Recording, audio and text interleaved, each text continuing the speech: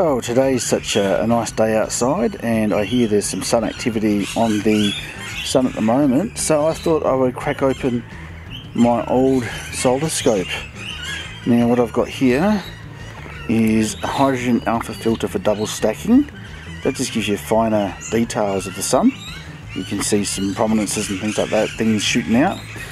Then I've got my Solascope in here, various filters and lenses and things. Um, very important, I've got my Barlow adapter, cheapy off of eBay, think it's $12 or something, because I'm going to attach a camera to my scope. Uh, I can use the lenses here as well. And then what I have here is a modified Barlow. Uh, believe it or not, that's a little scoop out of baby formula, just happens to fit and keep the dust out. Um, so what I've got is a adapter, a T2 adapter to EOS for my DSLR and then I can put the lenses in the end of here and attach my camera and I can have a bit of a look at my scope. Then the other thing I've got here that's a bit unusual is I've made my own sun finder just to help me find things. Uh, the sun finder on the Coronado is pretty good but this just helps me find a little bit better. And the first thing I realised I had to do when I first used these things was I've got to mount the Coronado onto my tripod backwards because normally with a digital DSLR you're pointing either straight ahead or down or maybe around you but of course with a Solascope you're pointing up which is completely backwards as far as a tripod goes. So I mount the little quick release plate on the bottom of it backwards and then I attach all the gear and away I go.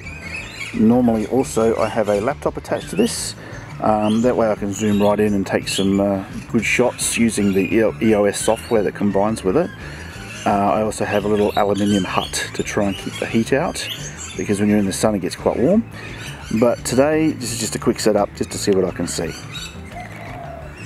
So the Coronado's on backwards which means of course all my controls are backwards but I can point up towards the sun now and if you have a look down here through my rangefinder if you can see that you can see that the little dot is in the middle there and then through this lens you might be able to see the sun.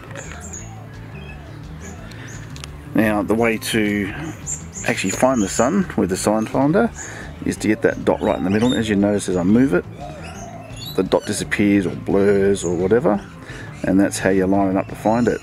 So now that I've found it and now they've got a lens in there and I can see it, it's time to add the camera. So I've got the sun in the scope's view um, I had to actually align the view with just below the sun because when you add the weight of the camera and take your hands off of it, the whole scope slightly sinks back. It's very hard to find it.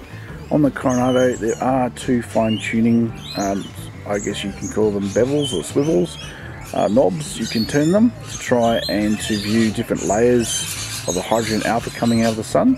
And there's a fine, there's a fine tuning twisting knob at the back and a big round one around the barrel that gives you the different views. At the moment, I can't actually see too much going on, pretty boring. Might try and double stack it and might try and fine tune it a bit better. I've bolted on the uh, extra Coronado so it's double stacked and I've now had to add my manual piece of tin light finder. Now the reason for this is the bulk of that extra filter on the end blocks the light coming down the side of the tube which hits the little prism which makes the light appear on the top of the normal finder. So I've had to make my own. Now this Barlow lens which is attached to the EOS is special in that I've actually modified it so that it's shorter than normal and inside here is the original lens I've made that so that can just pop inside and the Barlow lens just pops in after it and that gives me the correct focal plane on the camera. Here we are double stacked. As you can see it gives me a lot um, more detail. Now I'm going to take this out and do some enhancements to it using some software and see what I can get out of this. So a short little video of the sun and we'll see what we can pop out of it. I'll take some stills as well.